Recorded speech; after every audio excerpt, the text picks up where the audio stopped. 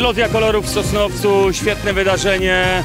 Wszyscy zakładali, że będzie bardzo dużo ludzi i nie zawiedliśmy się. Sosnowiczanie stawili się bardzo licznie, co nas cieszy. Dzisiaj koniec roku szkolnego, a zatem to taka mała impreza specjalnie dla nich.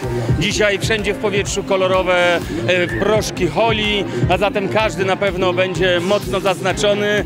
I dzisiaj wieczorem, jeżeli ktoś zobaczy kogoś kolorowego, to znaczy, że był tutaj. E, Mamy saturator, wodociągi leją, świeżutką, pyszną wodę, e, elegancko nabąbelkowaną. Do tego oczywiście coś do przekąszenia, kurtyna wodna, świetna zabawa na scenie Zagłębiowskie Gwiazdy.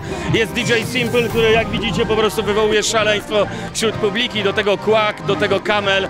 Dzieje się. Kupiliśmy naprawdę niezliczoną ilość proszków. Do tego cały czas proszki można nabyć tutaj na terenie imprezy, ale spokojnie tych, które my mamy i rozrzucamy co chwila dla wszystkich tych wspaniałych ludzi, którzy tu się zebrali i świetnie bawią.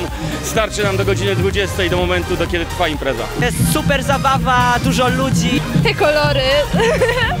Zabawa jest super, trochę mało kolorków, ale jest super. Ja pozdrawiam mamę i tatę. Świetnie, dzieci najlepiej. Się bawimy przednio, naprawdę. Świetnie. Super. Koniec roku, wyluzować się trzeba. Superowo z dzieckiem, dzieckiem. Fajna zabawa, polecamy wszystkim serdecznie.